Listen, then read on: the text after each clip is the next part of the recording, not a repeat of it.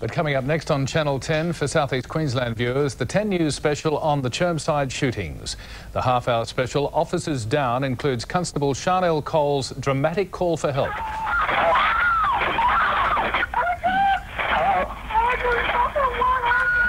There are chilling new pictures of Nigel Parodi, the gunman who's Queensland's most wanted man, and the neighbour who says he was Parodi's intended victim. He was going to kneecap me and, and put me in a wheelchair. That was on the night, on the night that it all happened. Stay with us for this special 10 News presentation on the ambush in Hanbury Street in just a few moments. Bye for now.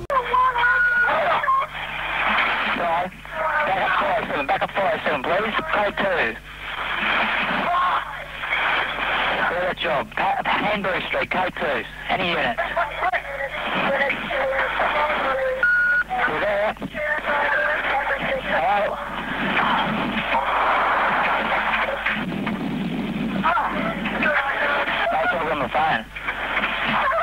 The ambulance. Come on, the ambulance to job. One, two, tell it, please. Sure. All the screaming. Someone got the ambulance for me? Job one, two, two.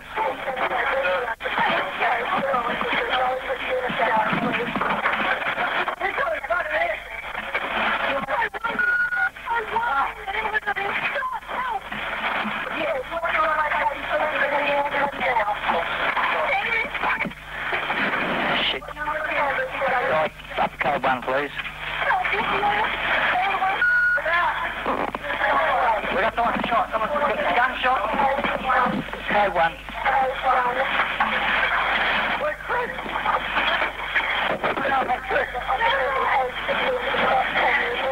Buttons are down. Get a car there now.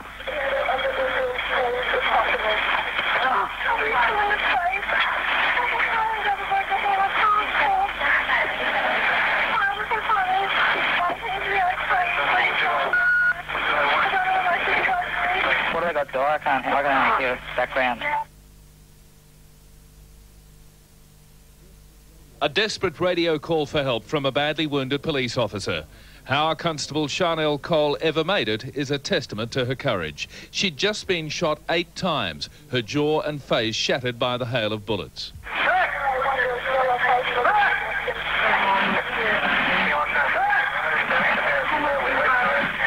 They going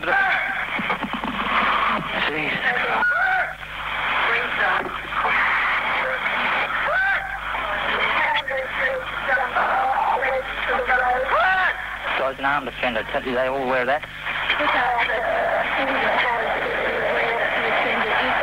With a firearm of some sort.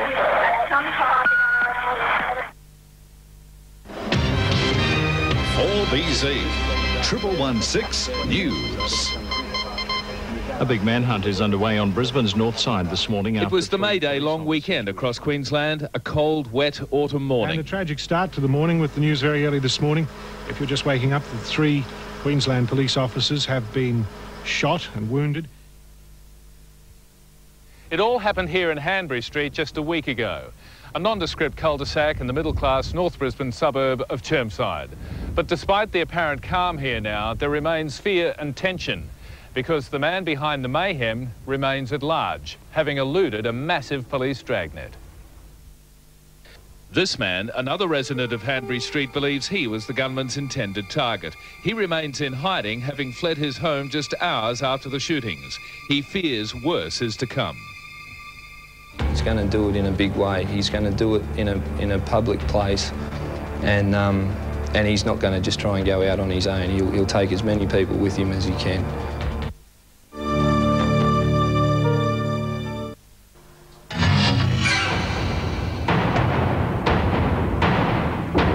This is the Nigel Parodi police are hunting, a gunman ready for combat. These dramatic photographs are the frightening reality of the man behind Monday's mass police shooting. He, he'd been planning for for um, for a shootout that night. Paul Moran believes the bullets were meant for him. He was going to kneecap me and, and put me in a wheelchair. That was on the night on the night that it all happened. It was Moran who called the police. Because I knew that he had the guns. I knew that he was crazy. He told me some other stupid stories before about other things that he'd done. um, whenever he'd come round, it, it, it, was always talk about taking out a, a politician or a Catholic priest and um, and going out in a big way. And um, on the night um, when I heard that he had all his guns out and he was going out on a rampage, I thought, well, he, he, you know, he'll take me and whoever's in my house along with him. That was why I rang the knew Parodi was unstable. Only hours before the shooting, he came home to find his pet dog painted pink. But he just made it very clear to us and everybody else who was around at the time that, that he would do these things and um, and, and he would say it with a, with a straight, honest-looking face that that was what he was going to do, and, and, and me and everybody else um, would, would, would talk when he wasn't around, and um, we, we all thought that, that he was capable of doing it, and, and it was that it was only a matter of time. The guy was a time bomb. The final trigger may have been losing a $20 bet on a football game.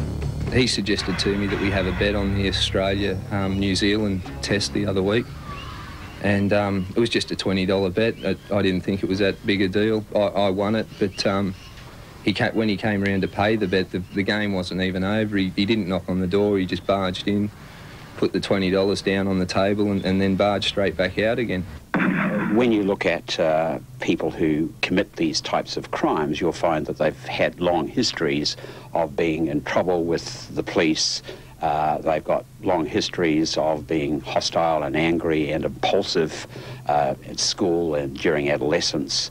And one final stressor, one more stressor on top of everything else, will set them off. Neighbours and friends who knew Parodi say the warning signs were there. In the days leading up to the shooting, they say they noticed a change come over him. A loner, he became even more withdrawn and agitated. The one friend who did spend time with him the night before the shootings has told police Parodi was in his backyard firing target shots only six hours before the police were gunned down. Yeah, yeah, yeah he's a nutter. He's crazy, I think so. I, but um, um, he also he also came across like he did have a good heart. Like he, he like I said, he was never violent towards anybody. It was just a change that that we, a few people in the neighbourhood see him go through, where he went from being um, like reasonably calm and, and you know quiet and to um, eyeballing everybody that, that went past him and um, not returning you know a friendly wave or and, and things like that. I think uh, the police were probably in the wrong place at the wrong time through no fault of their own. It's very possible, uh, given what's happened in the United States in terms of mass shootings, that other people could have been the target of uh, the gunfire.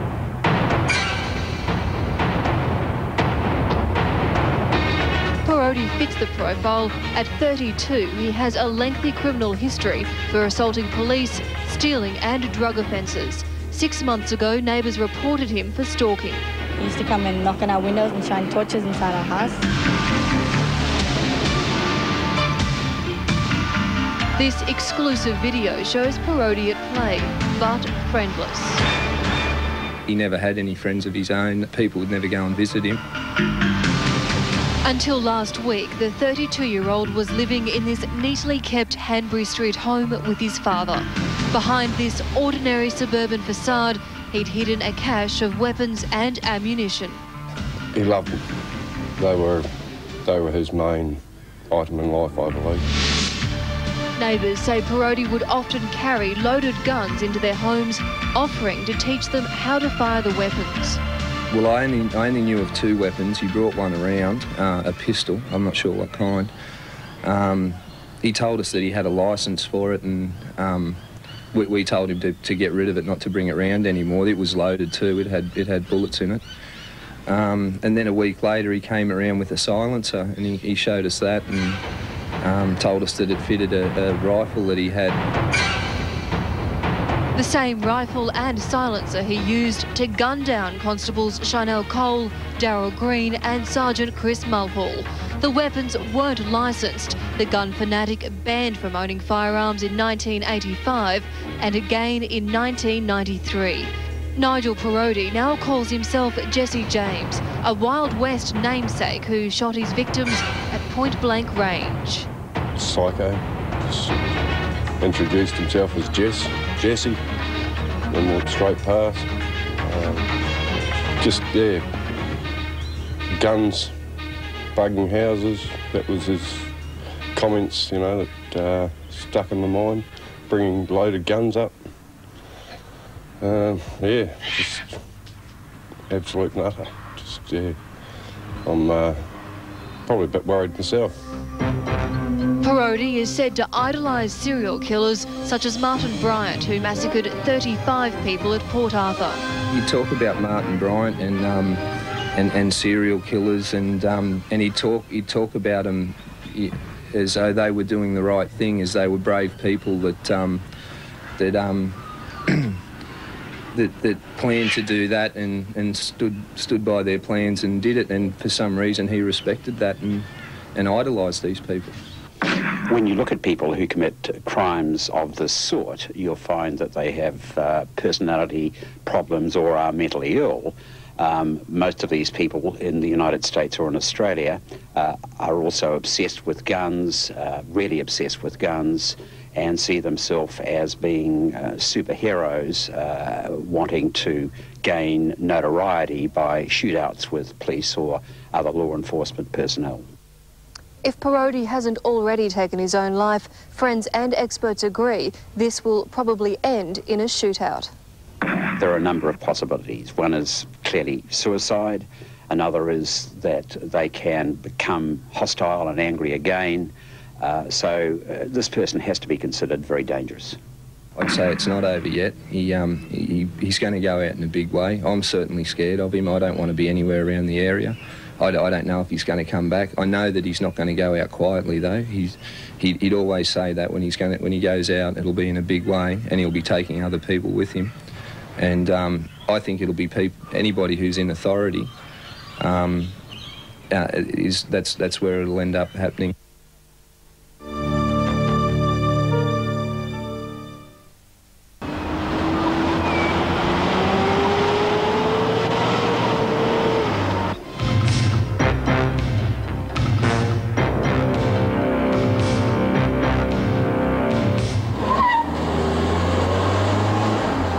With Nigel Parodi still armed and free, the community remains under siege.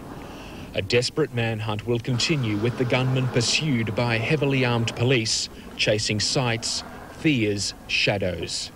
Now they're ready for the worst and on edge. It might be worth putting their vests on if they're going to come into the area. Uniformed police are um, very wary of any jobs. Um, it would appear that the uh, our friends that have been um, victims in this matter have uh, been ambushed, so we're very wary and uh, yeah, we're, we're pretty on edge. It has shown on the streets of Brisbane's north side day after day. No chances are taken. Police carry out their duties, guns drawn. It will be repeated over and over. I hope they catch this bastard so we can get on with our lives. Disruption has been unavoidable. Authorities believe they are hunting a human time bomb. A man on a hair trigger. Schools have opened and closed. Parents delivered and retrieved their children, worried, sometimes frightened. Yeah, I am a little worried because uh, I understand he's still around Chermside. So I was thinking not to send them today then I thought uh, he they have to get used. I don't know how long we have to keep him, uh, keep them at school, uh, home. So uh, I think uh, they will be safe, but it's very difficult. Even at home, we are not sure whether we are safe. Those fears are understandable. The Chermside attack ranks amongst the worst violence ever directed at police in the state's history. Never before has Queensland witnessed a shooting rampage where police were the target. Never before have three officers been shot at once, ambushed by a gunman firing an entire rifle magazine into their car. This chap is um, uh, a psychopath. He needs care, needs help. And uh, if he's still alive, he ought to uh, give himself up for his own good. Uh, because the police service will leave no stone unturned in apprehending him. We have a massive manhunt underway that will continue until he is apprehended. There have been a number of sightings all around Australia uh, and Queensland. Uh, at this stage, we don't know where he is. We're moving towards identifying those places that he's frequented as a child and as an adult with a view of establishing where he may be. Detective Inspector Graham Reinders is the man charged with catching the modern-day Jesse James, who hasn't been seen since the shootings. People do simply vanish. It may be that he has someone in the community who's looking after him. Uh, that is a possibility. It may be that he's, uh, he's, he's gone elsewhere uh, in Australia where he's not known. Wherever he's hiding, the fear among police ranks is that he won't hesitate to shoot his way out of trouble. Inspector, how dangerous is Parodi? Well, given the fact that he's already shot three police officers at point blank range and without any provocation, that indicates to us that he's extremely violent, and uh, that to us is a real concern. Little wonder Sharnelle Cole, the young policewoman shot eight times, is lucky to have survived. I think I'm lucky, actually. I mean, any, any one bullet could have done it rather than eight. So nothing will stop me now. The early morning ambush took the three officers by surprise. I didn't know at the time I'd been shot that many times. I knew that I couldn't move this arm. It was on my chest, and I knew that something had happened to my arm and my mouth. Um, so I just um, I had still had my left hand, and the position I was in in the car, I could get to the radio. So I could use the radio easily, and my mouth still worked at the time. So I think I did it so instantaneously before anything clicked in to see like the pain for anything. With help on the way and in darkness, Cole and Green kept reassuring themselves they'd survive the rampage. Daryl was going, "It's going to be all right. It's going to be all right," and he kept he kept screaming to neighbours to get inside and screaming out for our supervisor and and saying it's going to be all right. He kept coming back to me. Um, I sort of no, he just must have known that I was doing the I was doing the calls and um, just supporting each other. Yeah, it was just great. The 26-year-old became a hero overnight, but a reluctant one. I mean, a hero I look at as someone that saved somebody. I mean, we just got hit and then we just had to save ourselves. The ambulance officer, I mean, I know that they don't have to come in to those sort of situations till they knew that the person had gone and, and I mean Robert just risked his life and his partner to come in and just grab me and actually the supervisor was first on the scene and a single officer unit he just came in straight to me and Daryl and and I just thought my god that's a brave thing to do I mean he's these other guys are brave that came in not knowing what had happened the constable wants to return to work immediately but faces at least two months recovering. You plan to go back to work as soon as possible? Oh, well, I know it's not going to be tomorrow, and as soon as I'm 100%, because I'm sure I will be 100% again. The shooting only strengthening her resolve. I think eventually when I get through this, it's got to it's got to make me stronger. It doesn't kill you, it makes you stronger, doesn't it? So I think that's my saying now.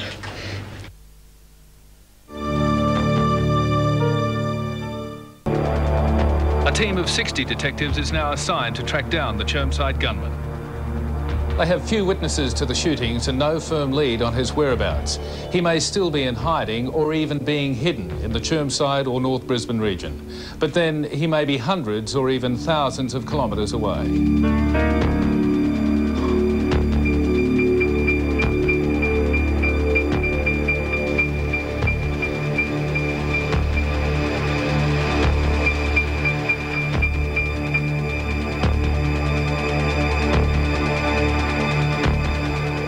If any member of the public does see Mr Parodi or believes they've seen him, there shouldn't be any effort made to confront him or to follow him. What we ask, of course, is that if, if there is a possible sighting that, that police are contacted either on the triple O number through Crime Stoppers or through the Police Communication Centre at headquarters. People have responded in their scores. Police have had reported sightings from across southeast Queensland to interstate, but they believe if Parodi is still not in the Brisbane area, he will have headed to the bush. As a young man, Mr Parodi did work on properties both in central Queensland and the Northern Territory. We understand he has uh, fairly competent bush skills, so it's certainly a possibility that he may have fled to some area in Western Queensland or to the Northern Territory. The, the view of the management team, the investigation team, is at times on our side. We believe that the longer the investigation goes, uh, the more likely we are to find him. We've been really buoyed by the public response, and uh, even now into day eight in the investigation, the public response has, has been tremendous. Uh, we continue to uh, look at all information that they gave, give us, and as recently as in the early hours of, of this morning, police attended a, a number of sightings on the south side of Brisbane. Look, it, it's, often, it's often the case that uh, members of the public know something or see something which they believe might be inconsequential to a police investigation. And in many instances, they are the very things that we're looking for. So no matter how small that bit of information is, we will look at it and act upon it if we believe necessary. So people shouldn't be of the view that they have something that, that we're not interested in. We'll take anything that, that the public has to offer. Nigel, Dad, Tony and I are worried about you and I'm sure we can work through this. We want to help you. We don't want to see you hurt and the police don't want to see that either. Please, Nigel, we beg of you to contact either Dad or myself and we'll make arrangements for you to meet with the police. No one wants anyone else to get hurt, so please contact us or the police. Nigel, this is not going to go away. Please help us. He uh, needs to be brought to he needs to be brought to justice and brought to justice swiftly. It needs to come and be dealt with. You can't just be out there. This needs to be stopped. And yeah, please, anyone that knows anything, just come and just ring the police. It, it can be anonymous.